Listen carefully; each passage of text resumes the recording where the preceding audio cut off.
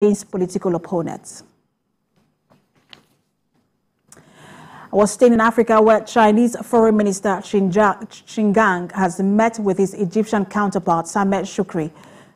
The Chinese diplomat was in Cairo for talks with Egyptian and Arab League officials, marking his last stop in a multi-leg trip to Africa that aims to consolidate Beijing's footprint across the resource-rich continent. In a joint news conference, Mr. Shoukry said the talks addressed Sino-Egyptian relations and relations and increasing Chinese tourism to the Middle Eastern countries. Four years struggled, um, for years struggled to revive its vital tourism sector. Both ministers said they also discussed regional issues, including the Israeli-Palestinian conflict. And earlier